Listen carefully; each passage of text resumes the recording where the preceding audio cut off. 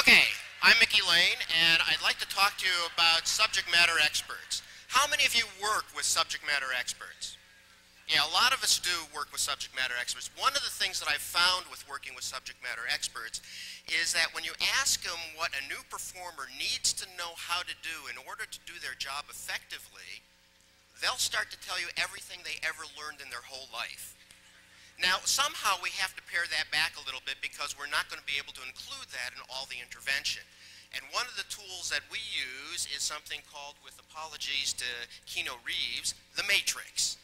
And in the matrix, we ask one question, one very straightforward question. If we do not include this material, this content in that intervention, what is the chance that the learner or the performer is going to make an error? And if they do, what are the consequences of that error?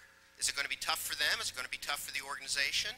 If you find that both of these are high, then you better include that topic or that content in the intervention. If one is high and one is low, you make the decisions as to whether or not it's going to be critical.